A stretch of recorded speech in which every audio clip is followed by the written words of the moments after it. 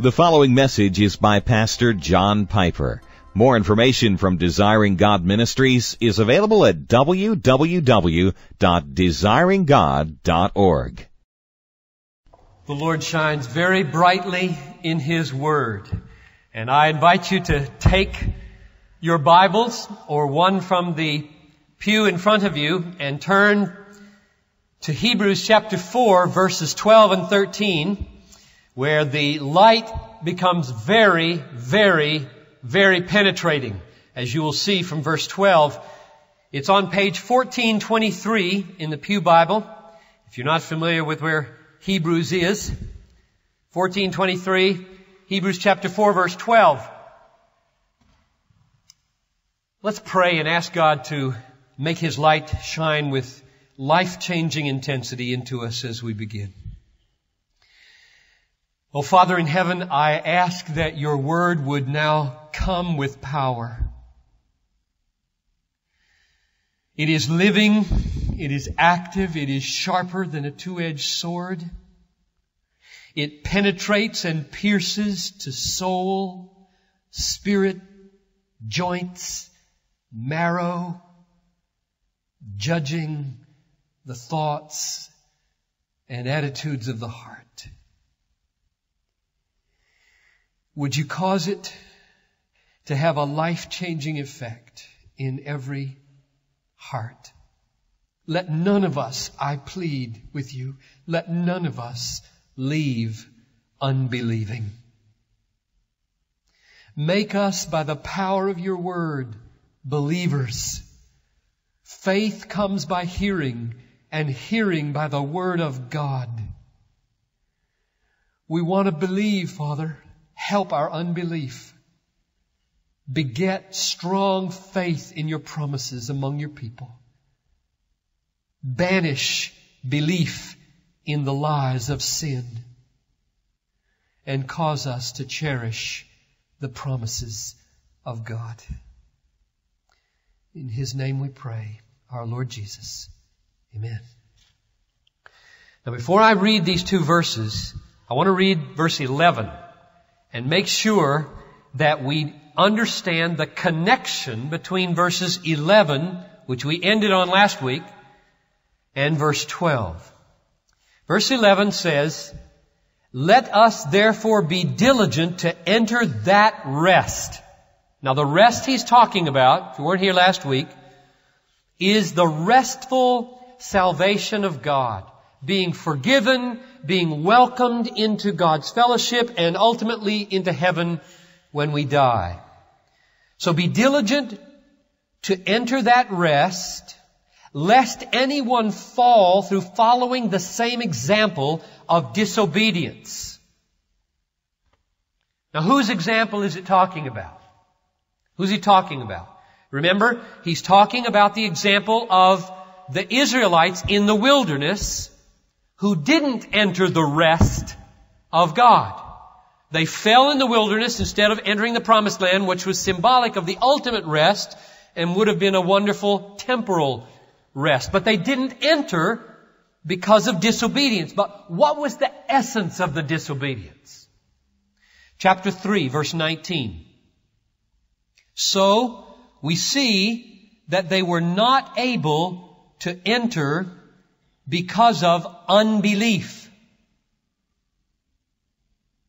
Unbelief is what kept them out of the rest. Unbelief is the essence of the disobedience in verse 11. Unbelief in what? And the answer is given in verse 2 of chapter 4. This is all review from last week. I mean, yeah, last Sunday. Chapter 4, I mean, chapter 4 verse 2, we have had good news preached to us, just as they also, namely the Israelites, had good news preached to them, just as they also, but the word they heard, that's what they didn't believe. The word, keep that in your mind, that phrase, the word, because that's what's coming out in verse 12 in a minute. The word they heard did not profit them because it was not united by faith in those who heard. So now we've seen from 319, chapter 4 verse 2, chapter 4 verse 11, that the Israelites heard a word. It was the gospel according to verse 2. It was promise. It was mercy. It was forgiveness. It was welcome. And when they heard it, they said, we'd rather go back to Egypt. Thank you. We don't trust you to provide water, to provide food, to, to beat these tall people in the promised land. We just don't believe it. And they fell and they did not enter the promised land. And verse 11 says to us, be diligent so that that does not happen to you. Strive to enter God's heavenly rest by being vigilant not to be unbelievers like they were, not to disbelieve the word or the promises of God. Now the link with verse 12. We've got the word before us from verse 2. It was that that they disbelieved. It's that that constitutes the disobedience of verse 11. Now here's the connection. Be diligent with that word so that you don't fail to enter the rest. For the word of God is living and active. Now just stop there. I know if you have an NIV, the word for is dropped for some inexplicable reason. That's an absolutely crucial connecting word here. The connection is, verse 11, be diligent with the word to know it, love it, believe it, trust it, rest in it, be satisfied by it, lest you become an unbeliever and don't enter the rest of God. For the Word of God is living and active and sharp and penetrates to the bottom of your life and reveals what's worth trusting and not trusting.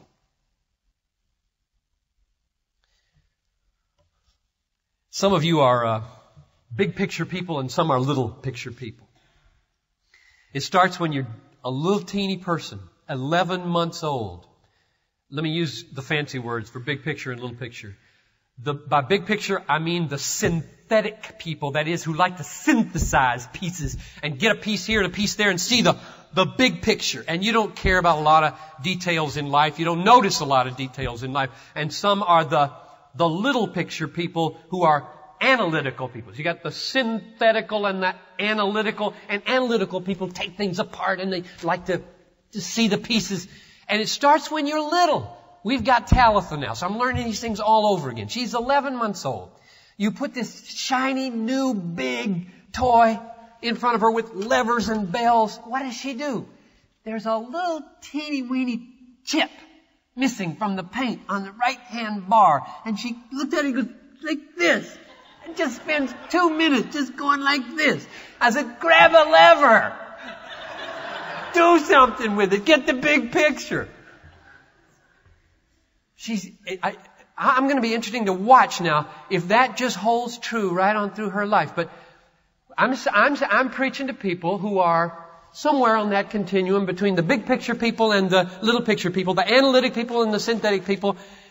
And you read the Bible very differently. That's why my preaching does not appeal to everybody. Because I tend to be um, picky.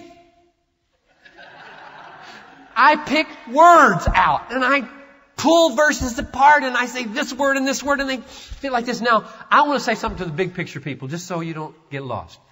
I want to say the big picture in Ephesians, uh, what book are we on? Hebrews 4. The big picture in Hebrews 4 has four stages. So here it is, you big picture people who get lost when I talk about for and because and therefore and how it all hangs together. Here's the big picture. Stage one. The aim of life in this chapter is to enter the rest of God. That is heaven. Forgiveness, acceptance, love, joy with Him forever. That's stage one.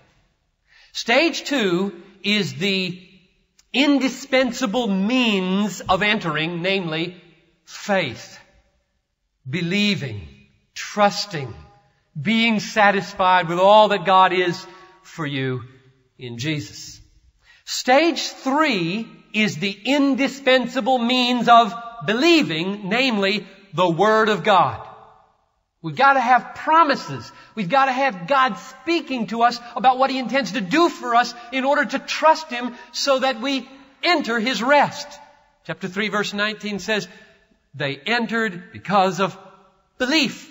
Well, they didn't enter because of unbelief. And chapter, uh, forget what chapter it is, says, we entered through faith. What verse? Now, now level four, or stage four, you got heaven or rest, you got faith, trust, belief, and then you've got the Word of God. And now the last bottom stage here is in verse 11 of chapter 4, diligence. In the use of the means of the Word of God so that you don't fail to appropriate the Word and have the faith and enter the rest. The Christian life is a life of vigilant use of the Bible to stay believing in the promises of God. And that's what's on the front burner of this book. We'll see it again and again. Chapter 2, chapter 3, chapter 4. Be diligent. Take heed. Listen. Exhort one another. And so on. Now, we come here to verse 11, and that's the level that we're at. We're at the level four of diligent use of the Word of God so that we don't make shipwreck and fail to enter the rest that He holds out. And verse 12 is given as a reason, back to the analytical level. A reason, an argument, a ground. Let me just, a lot of college students in this room here now. The college students have their class in the first hour. If you're a college student here and you didn't go to that class called Toshavim, Philemon, stand up. Philemon is the leader of that class. Thank you. Now you can sit down. You all know Philemon here. Philemon is the leader of Toshavim group, and if you didn't come to the first hour, you're all welcome to come to the first hour. Now the reason I draw attention to college students is because nobody told me at Wheaton College, and I wasn't, I didn't learn it until I went to seminary and had one teacher, who's the only teacher who said it, is obvious, is that for some reason for about 23 years of my life, I saw Bible statements as strings of pearls. And you take a pearl and you admire it and you make use of it, and put back, take another pearl. And nobody until 1968 in the fall in a hermeneutics class with Dan Fuller told me they're not strings of pearls. They're links in a chain and they're connected by therefores, becauses, in order that's, all those, because apostles argue. They give extended lines of reasoning. And when I saw that, my whole world changed. Close parenthesis. Verse 12 begins with because. Even though the NIV doesn't care about what I care about, It's there in the NASB, the RSV, the King James Version, and the Greek, which is what counts. And it's because. Now this is important. Because verse 11 is the main point of this whole book. Be vigilant in living the Christian life lest you fall short of heaven. For Here's your argument. Here's your reason. Here's your foundation. Here's your ground. Here's the way to get there. Here's the means of fighting. Here's the way to win for the Word of God is sharp. It's living. It's active. It pierces to the division of soul and spirit, both joints and marrow, able to judge the thoughts and intentions of the heart. Now this is a classic verse to frustrate a preacher. Because every word in it demands a sermon. I mean, aren't you sitting there right now wondering, soul and spirit? What's the difference between a soul and a spirit? Aren't you wondering, what in the world do joints and bone marrow have to do with the Word of God? Aren't you wondering, does the pair living and active maybe relate to the pair soul and spirit, joints and marrow? Hmm. Aren't you wondering as you get to the end of the verse, heart? Oh, another piece of my body. What, what does heart have to do with soul and spirit and joints and marrow? And I'm not going to talk about any of that. Isn't that frustrating to you? It frustrates me because I would have to preach for about 16 years on this book to preach that way. To take every piece like that. So I leave that for you to contemplate, and here's what I'm going to do with this verse. We've got a little forest here and a lot of trees, and I don't want to get lost among the trees and miss the glory of the forest. Let me try to state the beauty of the forest in one sentence. And here's, here's the sentence. See if you would agree. The Word of God penetrates very, very deep. That, that covers six of those words. Just very, very deep. Like a sword through tough, hard layers. I'll talk in a minute about what I think those layers might be. And when it gets down there to wherever it's going at the bottom, it starts judging thoughts and intentions. That's my interpretation of verse 12. But let me try to fill it out. Take the word judging. If you, uh, I used baseball cards in the first hour because there's a lot of kids in that service. I use uh, a car in this hour. If you are trying to buy a car and you drive your car to a mechanic and you drive the car in and you say, what's your judgment on this car? You don't mean, what's your condemnation?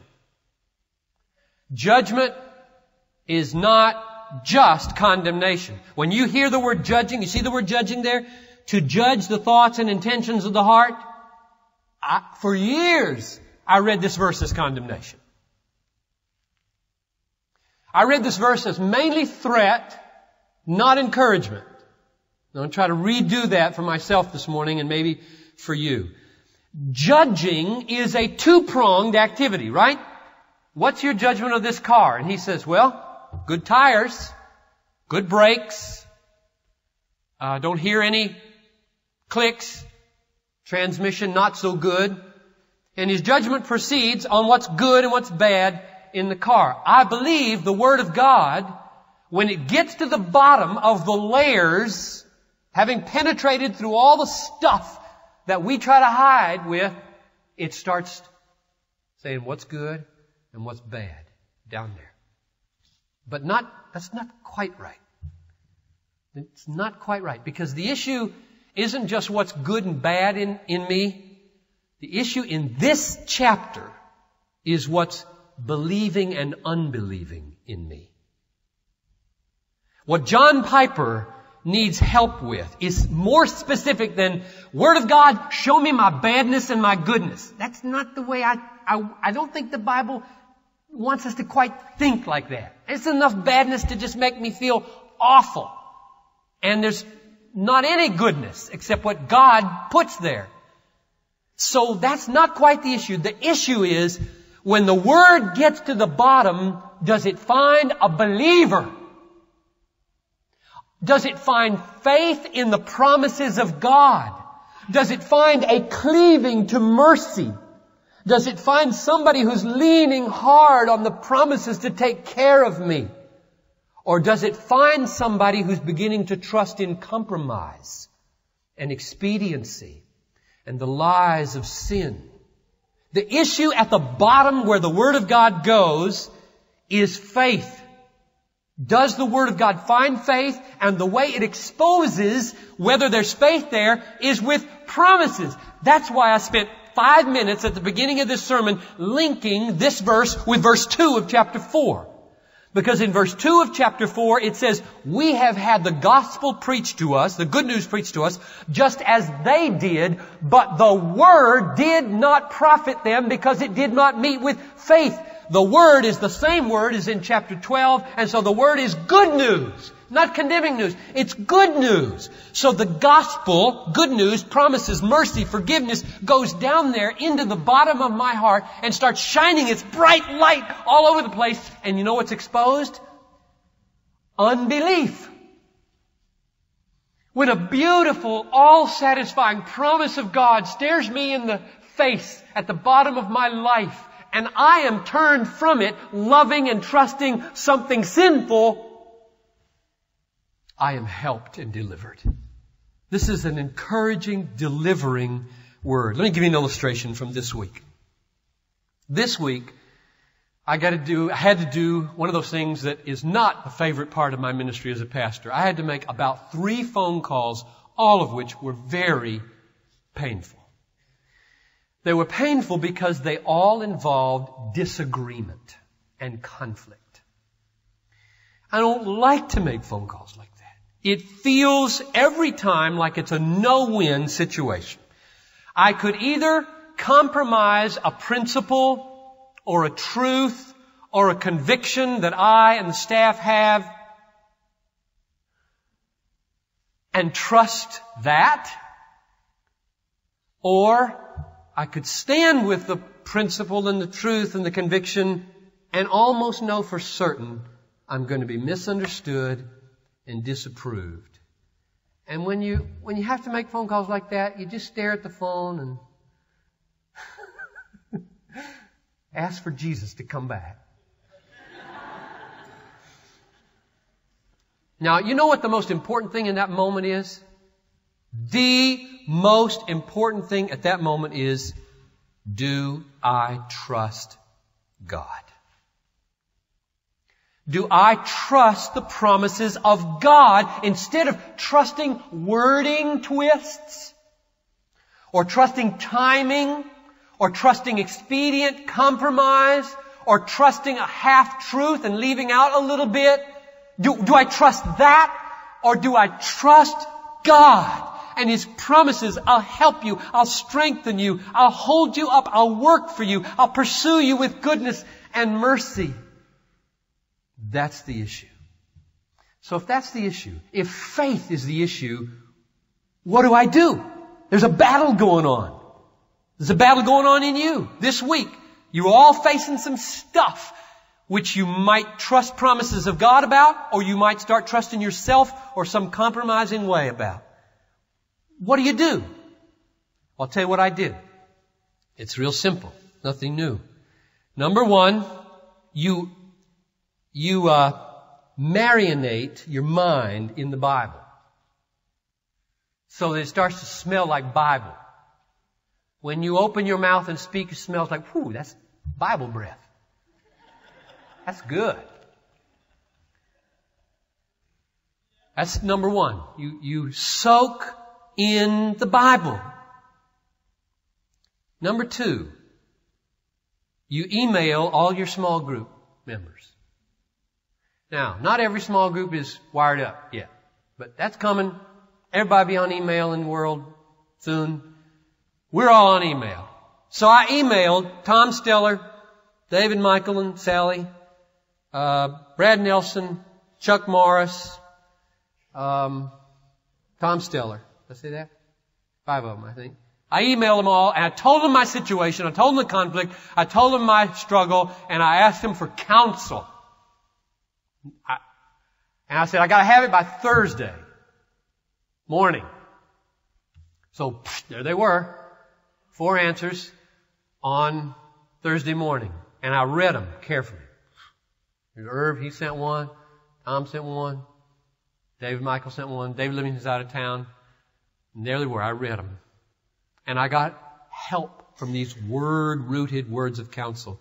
Talked to Noel as we took our little walk down on, on, uh, what's the name of that island? Pikes Island down at the Fort Snelling Preserve. That's where we took our day off walk this week. And we talked about this issue. And we prayed. So I, I, I marinated my mind. I emailed my small group. And I talked to my wife. And then I got on the phone on Friday morning and made the call. And God, I think, helped, and there was warmth, I think, and we'll see how it goes. What I'm illustrating here is chapter 3 verses 12 and 13 as well as chapter 4 verse 12. Let your eyes run up the page a minute. Chapter 3 verse 12. Take care, brethren, lest there be in any of you an evil, unbelieving heart. That's my fear, folks. I fear unbelief. I fear unbelief more than anything in the world. I don't want to be an unbeliever. I don't want to make a phone call and find myself trusting in lies. I want to trust in God. I want to be a believer and not fall away from the living God. Verse 13, encourage one another day after day. That's why I emailed my brothers in my group. I need daily encouragement, guidance. So do you. That's why you need to be in a small group or have some kind of connectedness with people who care enough about you that they're in your face asking how you're doing with your work and whether you're trusting in sin or trusting in God. As long as it is called today, lest there be in any of you, lest any one of you be hardened. Now here comes a very crucial phrase. By the deceitfulness of sin. Mark that. The deceitfulness of sin. Would you agree that the only reason you sin is because you believe at that moment the lie of the sin. That things will go better this way. Or at least the, the charge of the moment will be worth the misery of the consequences. That's the lie of Satan. Now I said Satan and caught myself in the first hour and corrected it to sin and a woman came up to me afterwards. She said, Why'd you correct yourself? The reason I'm correcting myself now, as well as then, when I said, lie of Satan, no, no, not, just get Satan out of this sermon. He's not in this sermon. Sin is in this sermon. The lie of sin. It says, do you see the phrase? The mark. It's not my phrase. At the end of verse 13 in chapter 3. The deceitfulness of sin. Sin lies. Satan's a liar, sure. But we, we talk way too much about the lies of Satan. You got enough sin in you, rooted deep in your own heart, to keep you deceived the rest of your life if Satan falls down dead. Satan's not the big problem in this world. I'm the big problem in this world. John Piper's carnality is the big problem in my marriage and my parenting and my pastoring and my citizenship and everything else where I cause trouble. I'm the problem. Satan doesn't get the credit for that. All he can do is come in and give boosters to my sin. I get that from Ephesians 2, 2 and 3. And study that later. I'm the problem. When I get deceived, my sin is deceiving me. Sin is rooted in me according to chapter 6 and 7 in Romans. It's like a power in me. And Paul cries out, oh, this sin that's rooted in me. Satan's not even mentioned in chapters Romans 6, 7, and 8. So that's why I corrected myself and said, the issue here, when I got on the telephone or as I struggled with the phone and as you're struggling today and this week with whether you're going to trust God's promises or trust expediency and, and sin, the issue there is do you get deceived by the lies of sin? Sin says to you, for example, the only way you'll have any future is if you get an abortion. That's one of them.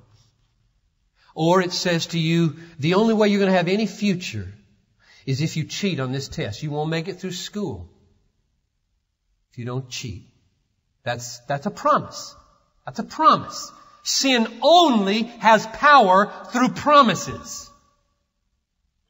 Or it might say, you won't attract him if you don't dress provocatively. You don't need Satan to tell you that. Sin will just tell you that. Or you will lose him or her if you don't compromise your sexual standards. And you feel so fulfilled and accepted and loved when you're around him or her.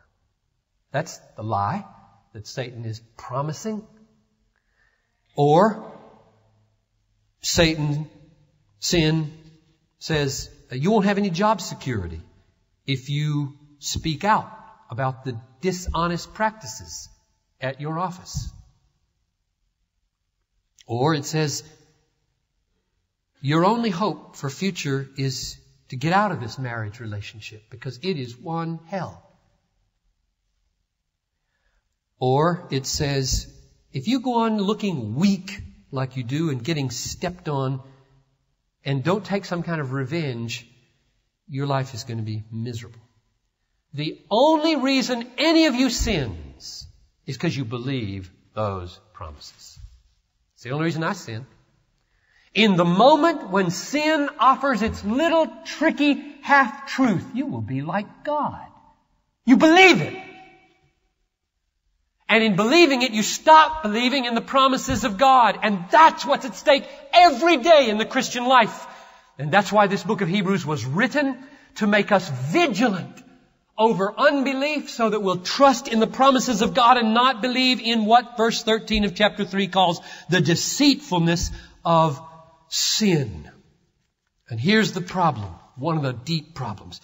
Sometimes those lies got into you when you were small, or a teenager, or 20 years old, or 40. And the deceptions of sin began to layer themselves over, creating a pocket of almost impenetrable conviction that this must be so. I really can't be happy unless, and let's sin fill in the blank. Let sin fill in the blank. And the layers are so thick that if somebody comes along and says, you know, that's wrong. That's harmful to you. What do you mean? It's my only hope of happiness. How could it be harmful to me? And there is no touching it. It is so deep and so powerfully rooted beneath all the layers of deception that sin has used. That's why verse 12 is in this book. To give you an encouragement that as you struggle and are diligent with the deceit of the promises of sin, you will know that the promises of God are powerful. The Word of God is living and active, sharper than a two-edged sword. It penetrates down to that division of soul and spirit and joints and marrow and it gets beneath all those layers of deception and when it gets there, it starts assessing with promises. Superior promises. At the bottom of all the layers is not you dirty, lousy, no good sinner, which is of course true. But that doesn't rescue us. What rescues us is, look, I am a God merciful and gracious, slow to anger, abounding in steadfast love, keeping faith with thousands, forgiving iniquity and transgression and sin. My son has died for sinners. All sin can be removed. I hold out promises to pursue you with goodness and mercy all your days and bring you into a rest that will satisfy your heart forever and ever. That's what the word, the light of verse 2 of chapter 4 sheds down there. And what it does is suddenly it causes the half-truths of sin to be exposed for the lies that they are. And it's freedom when the Word of God gets in there like that. The picture I had in my mind, I totally blew it in the first hour because I don't know anything about rocks and wood, but I get it right this time. The picture I had in my mind yesterday, even though the terminology is wrong, the reality of it's okay, is that there's at the bottom of our lives, tucked away for most of us, some darkness, and in the darkness, a little bit of a flicker we can still see, there's these little, little black I called them stones in the first hour because I thought ebony was a stone, and now somebody tells me it's wood. Okay, so there's these little pieces of ebony, hard, pretty, shiny, the kind of thing you'd put on a necklace, hang around your neck, and you pick up this little piece of ebony and you look at it. Oh, this is valuable. I want to live for this. I will put this in my pocket. And then suddenly, the Word of God All the layers come off. The windows fly open and the light streams in and what you got in your hand? A roach! It's a roach! Yeah! That's the way the Word of God works. As long as the layers are there, the, the little tentacles, the little fuzzy parts of the roach, he just folds himself in. It's just a shiny back. It's like a, I, I said stone in the first hour. Okay. Shiny, hard piece of wood. Got it? But it's valuable. It's the kind of thing you put on a neck. So, and, and it shows its shiny side to you. Sin. Mm, pick me up. Feel me. I feel good. That's why sin talks. Steal, lie, adultery, lust, pride, half truths. Pick me up. I'm good.